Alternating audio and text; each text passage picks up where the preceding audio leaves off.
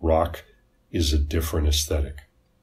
And at times it becomes popular. Um, usually when there's a rock band that's very good at writing a pop song, which was what Nirvana did. Um, you know, I mean, people still want verses and choruses and bridges and hooks.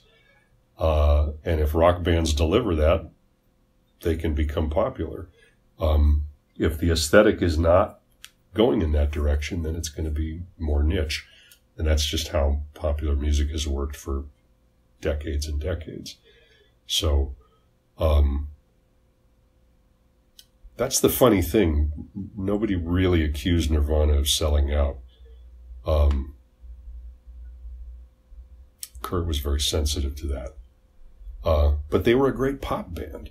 Guns N' Roses, pop songs. Jane's Addiction, pop songs. Pearl Jam, you know, their hits, the, the big hits they've had, they're they're written as pop songs. Um, I find that pop has a connotation to it, though, in a sense of like, like those may be pop's like influence with rock and roll, but like they're st- they're still playing their instruments. They're still really singing. I feel like when people think of pop music today, it's more like the auto tune kind of stuff. It is. It's more the common kind of pop music that rules the charts, and that the major labels are more interested in promoting and signing is manufactured for the most part. It's made by committee. It's made electronically. Um, that's not to say that there's not real talent involved. This is real music with real talent and real producers who know what the hell they're doing.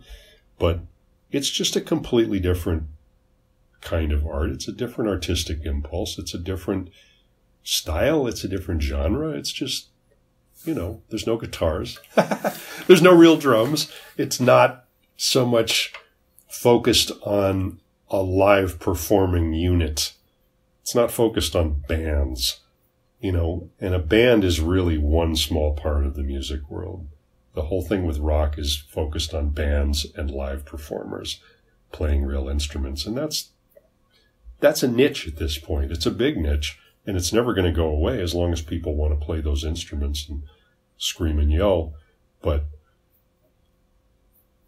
that's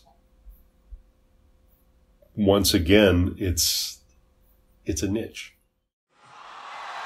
Hey, thanks for watching. My name is Daniel Sarkissian. I'm an independent filmmaker from Toronto.